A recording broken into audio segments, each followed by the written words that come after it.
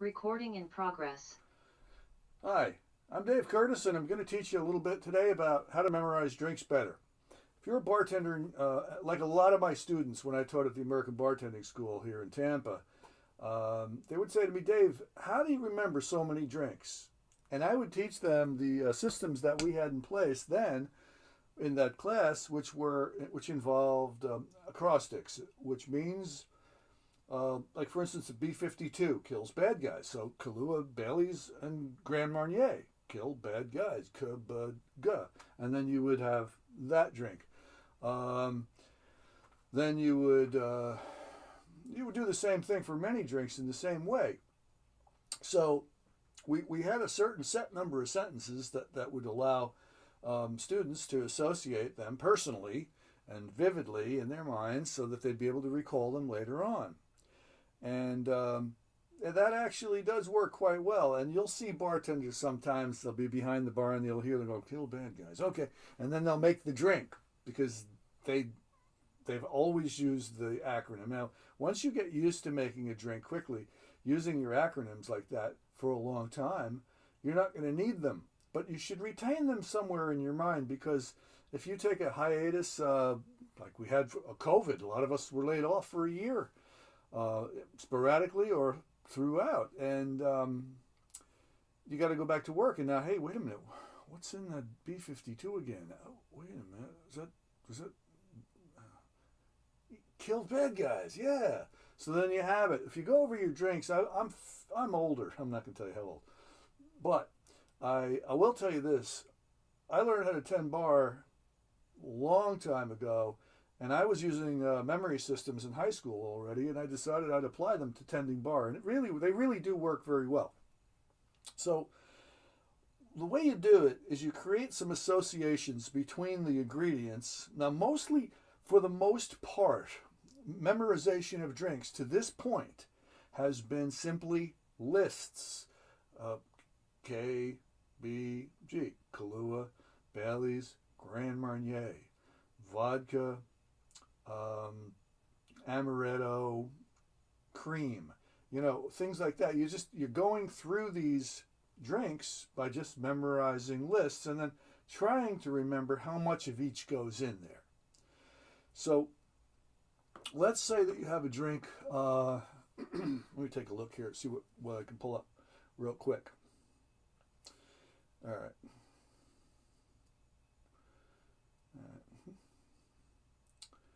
Okay, there's a there's a tiki drink called the Beachcomber's Rum Barrel. The Beachcomber Rum Barrel has a dash of Angostura bitters. It's got an ounce of honey syrup, which is a half ounce of honey and a half ounce of water blended together.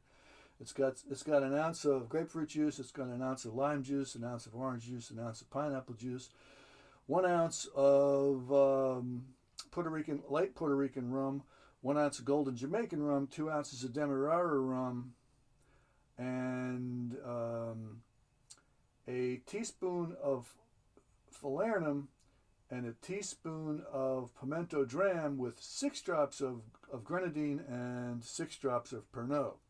That's all shaken up together and it goes in a rum barrel and it's for two people and uh, it's a great drink. But, you know, normally people would not know, wait, wait, whoa, you just like rattle that off. It's because of the way that I memorize. I know specifically you've got that dash of bitters in there.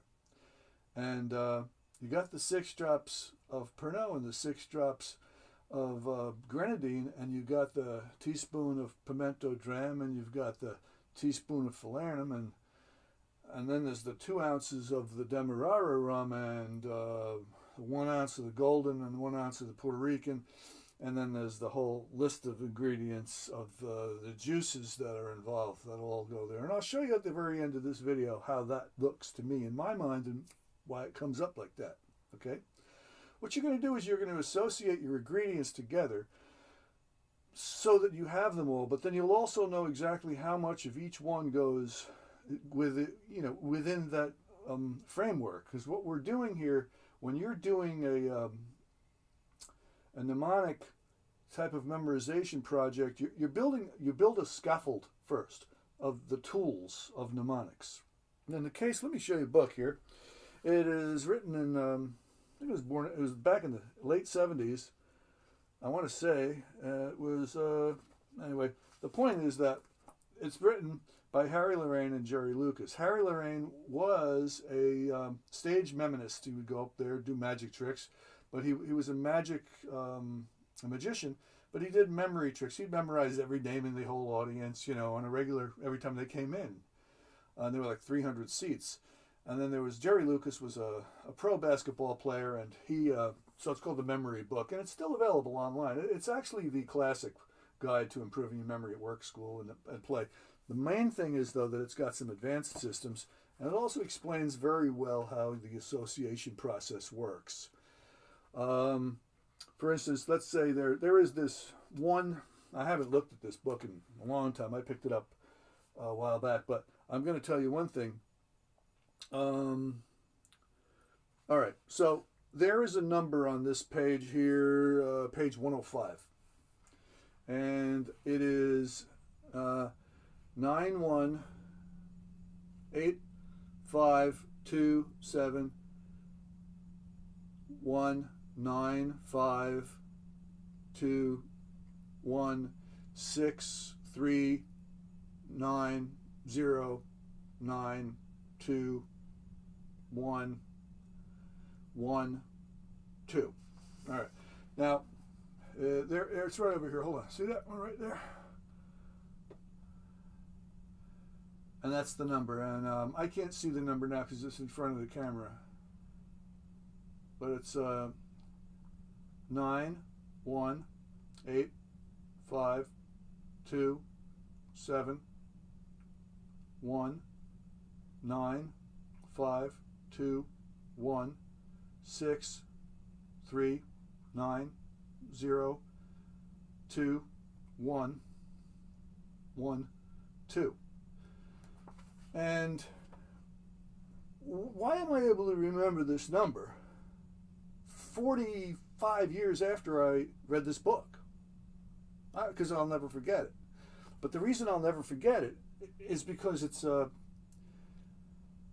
it's an association that comes with advanced forms of, of mnemonics. And, and that's the main point of what it is I'm saying here. So I don't have a perfect memory, but when I apply my systems, I do and I can do it anytime I want to. I don't do it all the time because that's kind of senseless. I used to memorize every license plate number that was. Oh yeah, license plate, license plate, because I could do it. All these numbers, I, I stunk at memorizing numbers. Now I'm great at it. And I'm good at memorizing anything else that I want. And I can do it fast and I do it very accurately. But the thing is, it's got to be accurate. so it may seem a little, it's a little slower to learn it maybe, to put it in. I can put it in fast and get it all and kind of make lots of mistakes, but then I have to do too many corrections. So I prefer to put it in the right way. So it's a little more work in the beginning, but pays off a lot better later on. Okay, so uh, for this, for what I'm going to talk to you about now, though, is some of the tools that I would do. I'll set up some uh, some specific tools to help me remember numbers that are fractions. So half an ounce, quarter of an ounce, third of an ounce. Um, one and a half ounces, two two ounces, two and a half ounces, uh, three quarters of an ounce, one ounce, depending on how the recipe is, is built. So I'm going to switch cameras right now. I'm going to bring you over to my pad, my notepad, and you're able to see, here we go. So we'll start with this dash. And I have a bar spoon over here. I'll use the bar spoon as my pointer. So here you see we have a dash, and the dash can be anything, like a dash of Angostura bitters or a dash of whatever. All you need to do for that is you use a, you set up a tool in your mind. Anytime there's a dash involved, you're going to pull out this, these pair of legs, and you're going to attach it to the thing that's a dash. In this case, we have a bottle of Chambord, and there's a dash of Chambord. Normally, you're not going to be using dashes of Chambord, but remember before in the other uh, in the rum barrel, we were um, using six drops of Pernod and six drops of grenadine, and essentially a dash of bitters is about, I would say, what three, four ounce. Uh, I mean, about six drops, popping out all at once. So that's the first portion of how to memorize something using a tool. We're creating these spe specialty tools that you can you can use quickly. Now, the reason why I developed these was because I had a I had a I had gotten a hernia a few years ago. All right, and uh, I left my job and went to a new location. Uh, I moved, and the, the jobs that I worked, I couldn't work. I, every because my hernia was giving me a real problem, and uh, I'd be given a menu to remember and a whole bunch of specialty drinks 10, 15, 16, 17, sometimes uh, specialty drinks, and a whole menu. So I'd memorize a whole menu, race through the thing, and, and I'd have real problem remembering the precise proportions of each one, you know, quickly, all of them. So I developed this system. Now here's a splash. The splash is like a, a mermaid tail. What you do is you keep that. Now that's your splashes, just like the movie Mermaid. Splash with the mermaid. Uh, now you can attach that to anything you want. In this case, I'm attaching it to this um, this lemon. So it's a splash of lemon juice. It could also be sour mix, you know, whichever the drink calls for, you'll know. But let's say you got like four things that are splashes. I have a drink that's got uh, um, three splashes. It's got cranberry, so I made the head out of cranberry. It's got orange juice, so I made this part orange. And then I made the bottom of the tail with thick scales on it. And uh, the fins were like uh, green leaves because it was a pineapple. So it was a splash of uh, a, a, splash of sour mix. I mean, a splash of cranberry. Because I'm just looking at the yellow a splash of cranberry, a splash of orange juice, and a splash of pineapple juice. And that goes into that drink. So uh, you don't have to make three three separate ones. You can just make the colors on there that'll represent what they what the splash is. A splash, by the way, if you use one of these pourers, hold on, let me grab an empty one. All right, yeah. So if you're using one of these and you do and you do a splash, it's approximately a half of an ounce. So half an ounce and a splash are approximately equal. In this case, the uh, the juices, though, you don't measure them as by counting. You just give it a splash, so it doesn't count as a as a half of an ounce in the recipe. So the next one is the quarter ounce. The quarter ounces, you're gonna. This is a kind of a tricky one. Um, I, I keep trying to show this to my girl I'm telling her, you know, this is a quarter. It's a quarter. Trust me, it's a quarter. So this is a, a quarter of a of a um, a lime or a ball, a green ball. So when you take away one quarter and then you turn it a little bit sideways, it's like a band shell, like a band shell where they play music. And I like the band shell for the quarter. I tried using a 25 cent piece or even like George Washington to represent the, the guy on the quarter, but it doesn't work as well. This is good because you can put things inside of here. It's quite spacious in your mind. Like here's a drummer, see? And then here's a guitarist and there's a singer. So it's got room for lots of stuff. Now over here, the drummer is Jamaican.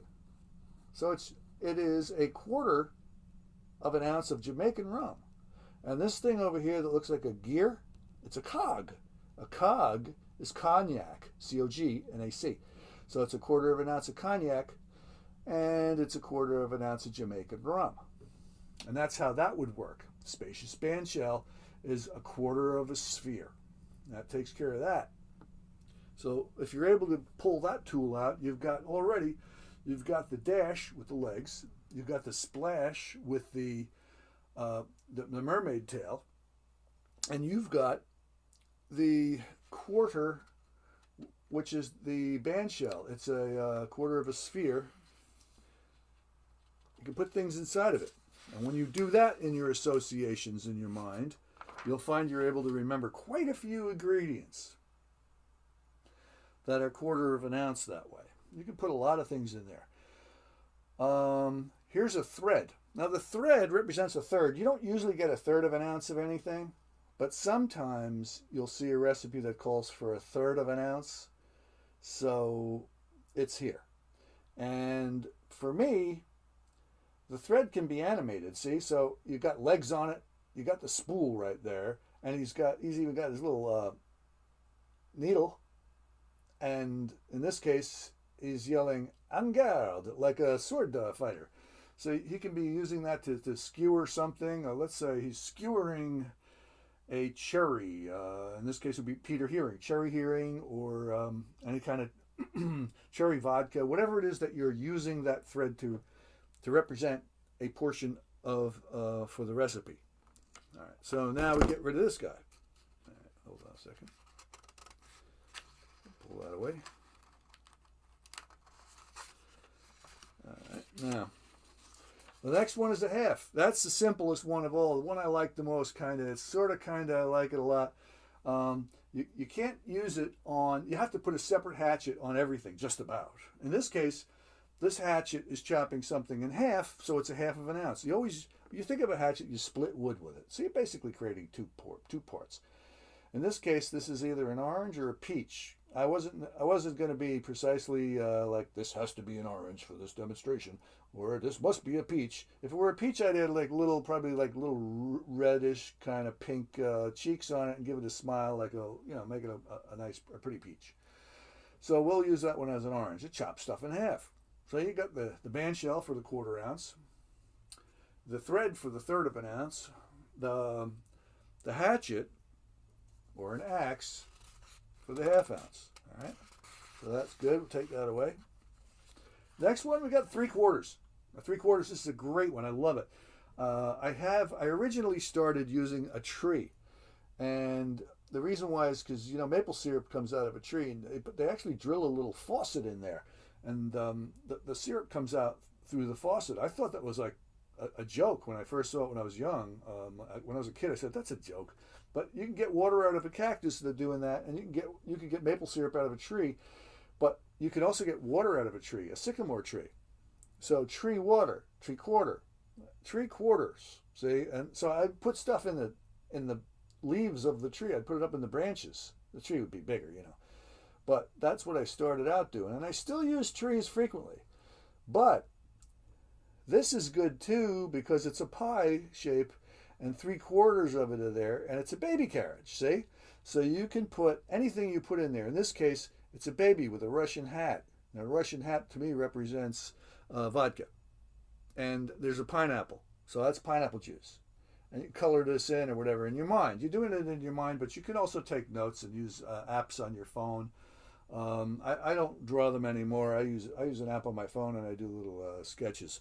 Matter of fact, I'll show you a sketch right now um, because I got the because I happen to have this. See if we can pull up a better one, more recent, something I haven't messed around with too much. Okay, yeah, here we go. Yeah, here's one. Um, that's Jolly Rancher. See, he's see the hatchet in his hand. Jolly Rancher's got a hatchet in his hand and he's chopping into a can of spam. And the reason why is because spam is sour mix, pineapple juice, apple pucker, and Midori. And it's all a half of an ounce. That's a simple drink, but it is easy to remember. And it's I used to get confused between the uh, Jolly Rancher and the Planter's Punch because one's a planter and one's a rancher. And I'm like, wait a minute, hold on a second, which one's which? But the, the simple truth is, uh, now I don't I, I, don't ever get confused anymore uh, after not making one for a period of time and uh, it's easy for me to recall. So the three quarters right here, excuse me. so that takes care of your three quarters. Use a baby carriage. Put the wheels on it, do anything you want. Anything in there is three quarters. Now for one recipe, I had to make a uh, make an eggnog, and for that one, it took four eggs. So I thought, hey, this is cool. I made the four wheels eggs. I actually turned them into eggs. Um, all right, that's right here on this. Since I pulled that up on my phone, let me try pulling that one up too. Hold on, and it should be simple to do because because I here we go. Hey, here we go. I'll show you what I mean. All right, so here we go. We got this homemade eggnog, and in this in this eggnog, we've got um, there's the tram. Uh, I mean the baby carriage. Uh, it's actually called a pram in, in England, and it's got um, heavy cream. You see how it's got three quarters, and it's got a cup handle on there. That means it's three quarters of a cup, and then the nutmeg up on top. That's a thread, a third of a teaspoon of nutmeg. And then over on the left, there's some other stuff. There's the hatchet. See the cane with the hatchet in it? I'll show you where that is. Hold on a second. Let me move that closer. All right, see the cane? And there's a hatchet in it. Well, the hatchet is a half, and the cane is cane sugar. And believe it or not, that little handle on there is a cup handle. So I know, and this is something I'm going to show you in a minute. The cup handle on anything means it's a cup. So it's a this is a half a cup of cane sugar. It's uh, three quarters of an ounce of cream, heavy cream. It's a third of an ounce of um, nutmeg. It's three cups of whole milk. It's a dash of of uh, what was that down there? Oh yeah, it's I'm sorry. It's a teaspoon of uh, vanilla for the leg, and that takes care of that. So you got everything going on in there together to make homemade eggnog, and that's how uh, I learned it. So let me go back now too, and all you got to do is take a look. If you forget it, you just take a look at the picture again. Bang, it's right back. The whole thing's back in your memory. It's not like looking up each ingredient and trying to remember it because it's a story. You're creating a narrative. Effectively, um, let me go back. Let me pull this camera out of here and go back to me again. All right. What you're doing is you're creating a narrative, a storyline that you're using to remember what's going on there uh, in the picture. Now, normal associations are, are, are hooking and pegging things to each other, this image, and then there's a dog on top of a cat, and then there's a house on top of the dog, and then there's a tree on top of the, the house, and the whole thing, it's just like a big giant chain of stuff, but doesn't necessarily you have to make it personal. You have to smell it. You got to see it. You got to feel it. You got to taste it. You know everything. The the um, the, the th- everything about it. The more you do to remember like that, the better it'll go. But but there's an Aboriginal system used by um, uh, Australian Aborigines, which is called the narrative method, and, and they'll they'll use a story at a place, and like a stage. It's just like you have that amphitheater, you know, for the music, they'll have they'll go to a rock or or a, cliff where, where there's a, a, an unusual some kind of a, a outcropping, a landmark, and they'll go there and then they'll they'll have a story, a narrative goes on there as to what happened there or uh, something going on in the thing that they're trying to memorize so they can remember a story because stories are easy to remember. And once they do that, it works better than anything else. Uh, it's been found they're using doctors are using these systems all the time.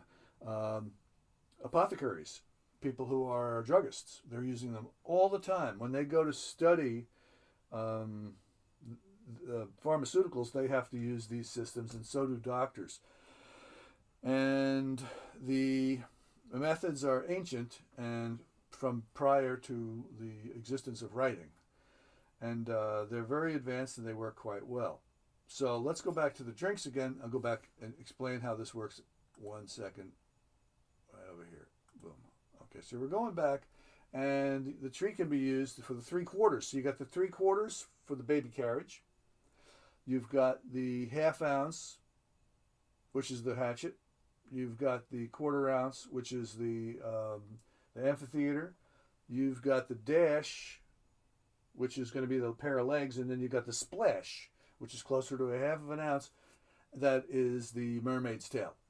And so we're going to go back now after this, after the tree, after the three quarters, I mean, we'll head over to one. Now, one in the in Jerry Lucas's and uh, Harry Lorayne's system is a a tie. It's the t sound t, d, f, and that word association is tie. In this particular case, we're using a very wide tie. It also looks like a tie. Uh, looks like a one too. It's got a single stroke, up and down. You can put that one right in there. It'll fit. And um, you can put things in there. You can, like for instance, you can put an acronym in there like GLOP or you can put stuff in there, like a pineapple and an orange. And in this case, the pineapple, one ounce of pineapple. And in this case, it's one ounce of pineapple and one ounce of orange juice. Now, what about the glop? G-L-O-P.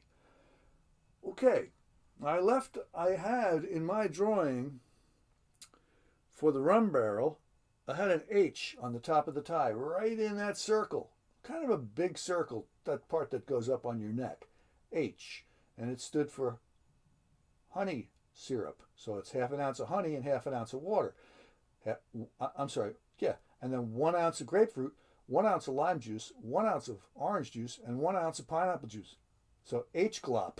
And I remember H, the H, I use the H symbol, the old H symbol from the New York Hilton, the Hilton symbol, which was a funny H that was in two halves. So I knew that it was half orange, I mean, sorry, half honey and half water. So combined, it's one ounce. So one ounce of honey syrup, one ounce of grapefruit, one ounce of lime juice, one ounce of orange juice, one ounce of pineapple juice, H glop.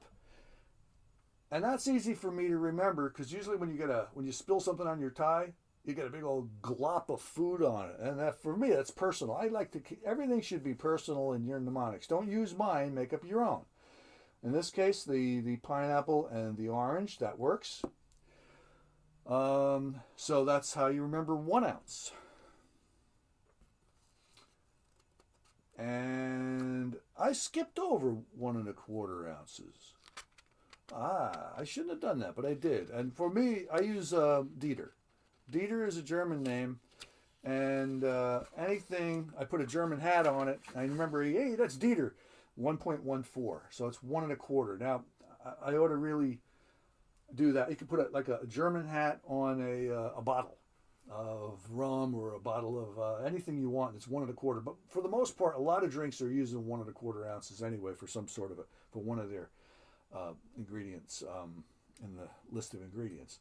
All right, so this one is one and a half, and I use that for that. I use a box of total, and this is part of the reason I'm using the word total is because of the memory book, because of Jerry Lucas's book. There's a way to convert numbers into letters, just the way I remembered that real long number before.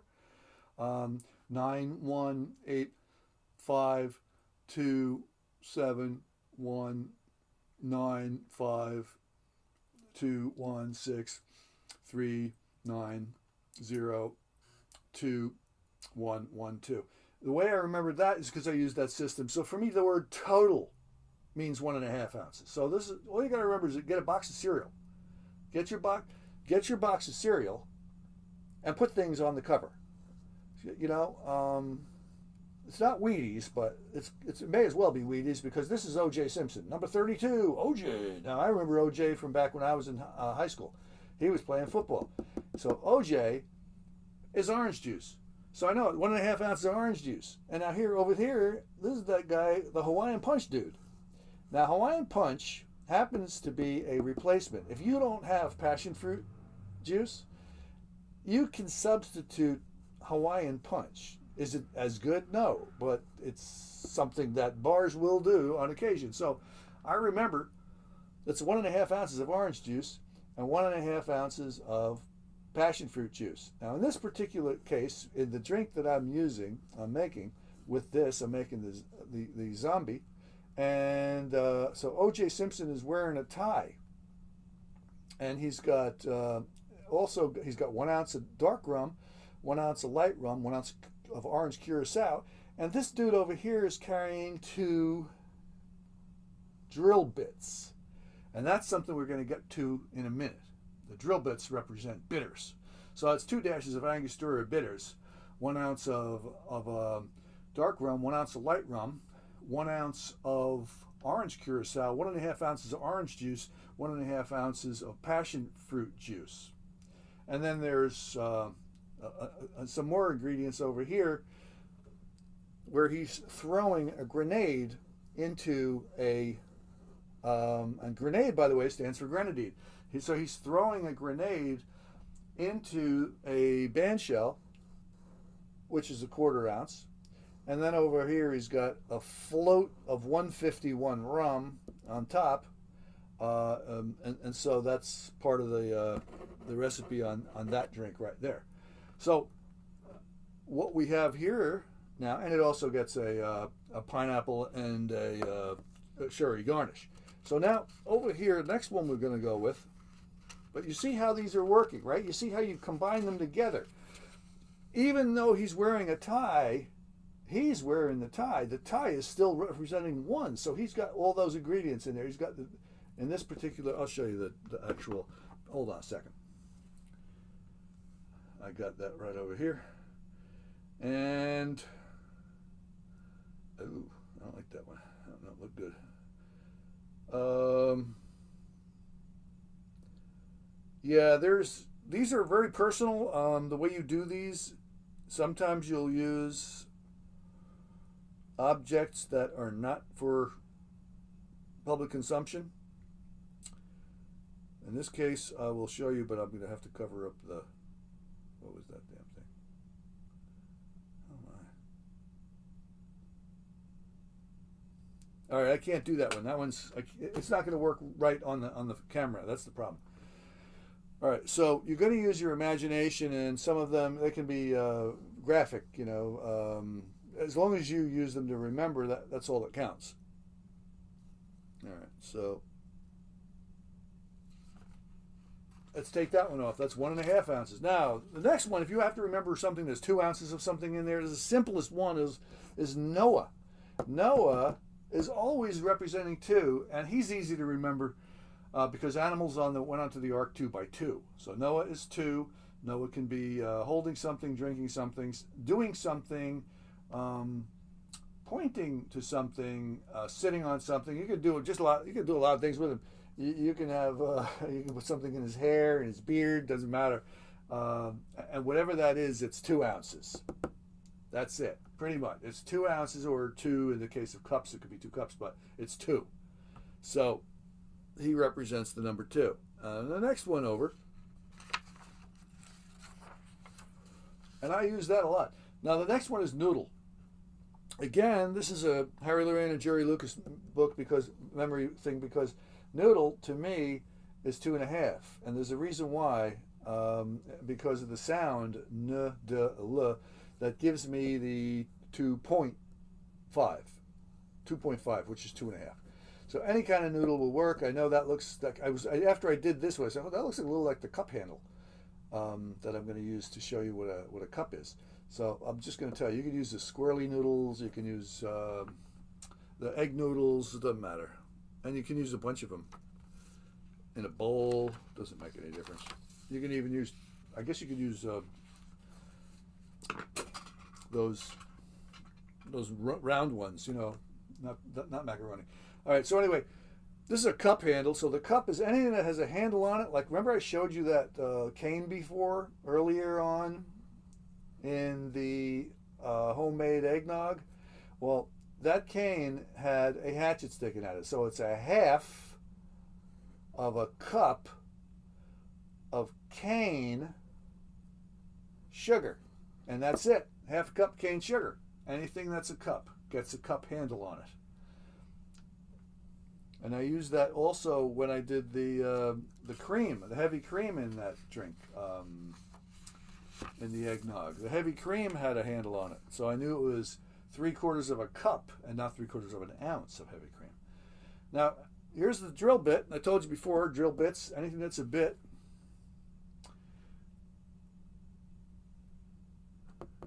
That's easy. You don't really do much with that. And I had uh, I had the guy from Hawaiian Punch holding one in each hand, or actually he had two drills in his hand, so the bit was you couldn't miss it.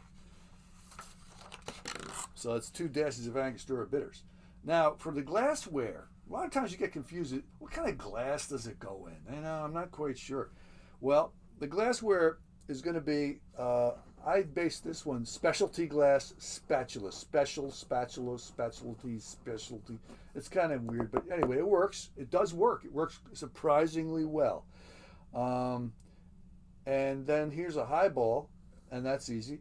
Eyeball. You can put an eyeball in the drink, add it as an ingredient, or have uh, one of the one of the things up in the beginning is going to have an eyeball.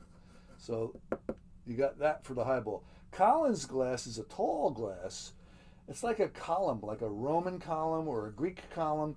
So you can picture a Greek soldier, you can picture, a Roman soldier in there, and you're going to know that that is Greek Roman, and you'll think of column, but you can also put columns in there. Just put a column right in the in the uh, recipe somewhere. Now rocks, that's simple. Rocky, Rocky Balboa. You got a big red, whatever it is, whatever personality is in there. You're going to use people. You're going to use actions. You're going to use objects to remember your recipes. And the last one, this is where you're actually going to start putting together stuff yourself. If you find that things are hard to remember, um, vanilla is a van, okay? Now, if you can picture a van with a cog on the side, and I showed you that's like a big gear, it's it's vanilla cognac. If you could picture a, a, a Russian guy driving a van, it's vanilla vodka. If there were some reason you couldn't do it, Grenade is grenadine, that's simple. And across is Jägermeister. Now Jägermeister, let me show you the the label of the Jägermeister, in case anybody there doesn't remember what that looks like. Your Jägermeister has got a cross between those antlers, see? And that's real simple. So you're going to be able to just think of that cross anytime you need to use Jägermeister. Uh, for me, uh, we've got that drink called uh, Redheaded Slut. Now, the Redheaded Slut has Jägermeister in it. I just picture that she's got a big old bouffant hairdo way up in the air, and it's got a little opening in it, and there's a cross in the middle. So I know that it's got Jägermeister. And then um, her brassiere, she's actually wearing like a bikini. Uh, one half is a big peach, like the, you know the fabric has a print of a peach on it, and then the other uh, the other one has got uh, cranberries. So you got the three ingredients. And by the way, there is a, a term for that, and it's just pay cash. So redheaded slut, just pay cash. Jägermeister is the is the just. Uh, peach is the is the pay, and cash is going to be the cranberry.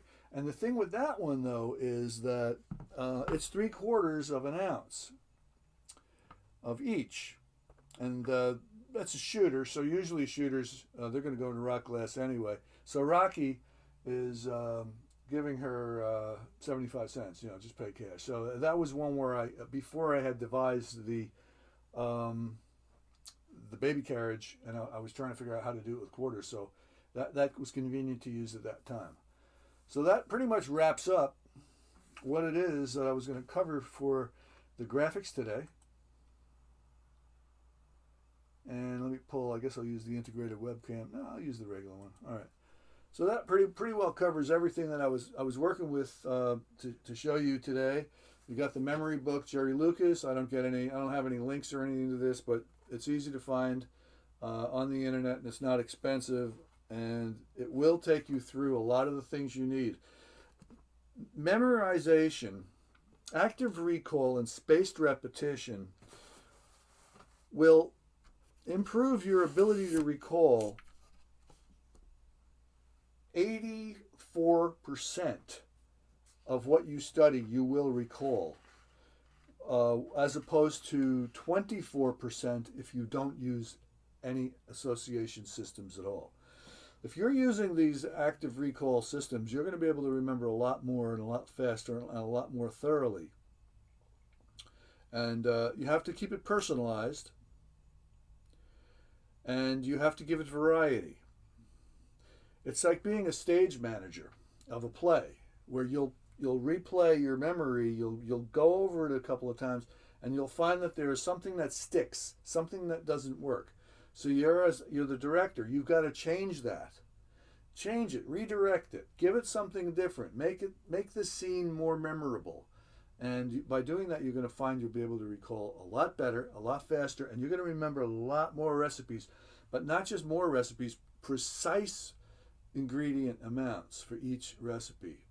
It will absolutely astound you at how how absolutely certain you are when you're when you're reciting a recipe or making a drink. And thank you. I will talk to you um, the next time. Hold on a second.